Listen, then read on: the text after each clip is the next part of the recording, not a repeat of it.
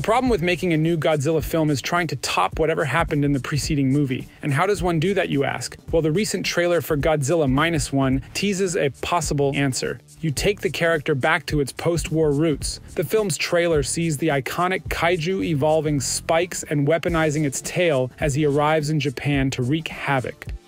Oh, yeah, jumped at the chance. A new TV spot unveiled by Kaiju News Outlet highlights Godzilla's transformation with spikes and its combat using the tail as a fearsome weapon. The teaser presents a fierce battle between the kaiju and humans in the water, emphasizing the imminent peril to Japan and offering a glimpse of humanity's efforts to combat the monster.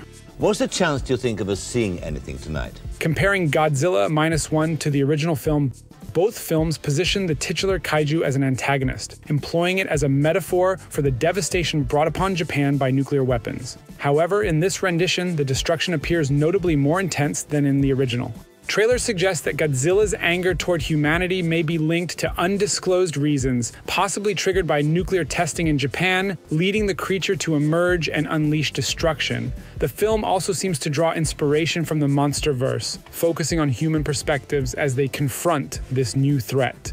As of now, it remains uncertain whether Godzilla Minus One will stand alone in the kaiju's extensive history or serve as the starting point for a new shared universe. Given Godzilla's role as an antagonist, it could be a standalone entry, akin to Shin Godzilla. A definitive answer awaits the film's release later this year.